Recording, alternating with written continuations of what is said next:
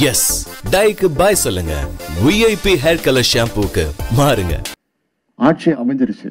அமைச்சர்கள் பட்டியல் தயாரிச்சுட்டு இருக்கிறோம் அப்போ இவரை தான் நான் தேர்ந்தெடுத்தேன். நேருவை இந்த நகராட்சி துறைக்கு என்று.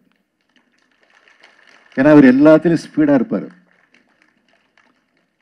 படபட படபடன்னு நீங்கள் மேடையிலே பார்த்துருப்பீங்க. இவர் நடந்து போனது வந்தது எல்லாம் பார்த்துருப்பீங்க.